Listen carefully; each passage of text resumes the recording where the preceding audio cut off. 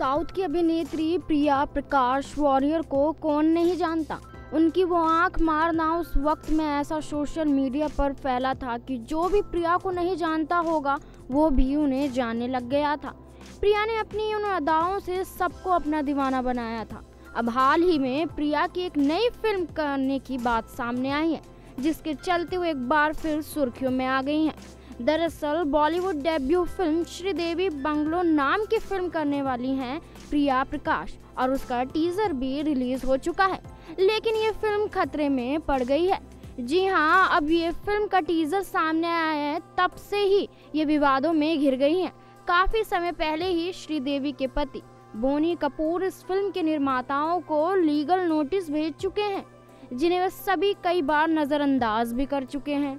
हालाँकि आपको बता दें कि अब बोनी कपूर ने फ़िल्म के नाम पर कड़ी आपत्ति जताते हुए मेकर्स को लीगल नोटिस भेजने का फिर से मन बना लिया है, ताकि वह फ़िल्म के टाइटल में श्रीदेवी का नाम इस्तेमाल ना कर सके।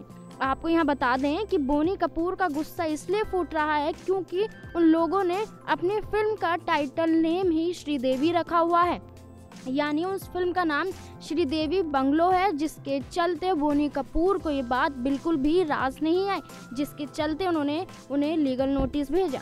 हालाँकि इसके अलावा आपको बता दें कि आखिर खबर इसी को लेकर बनी थी, उनका शुरुआत में ये था कि जब फ़िल्म के दौरान टीज़र में हीरोइन प्रिया के खत्म होने वाला सीन उसी तरह दिखाया गया था, जैसे रियल लाइफ में श्रीदेवी की खत्म होने की बात सामने आई थी।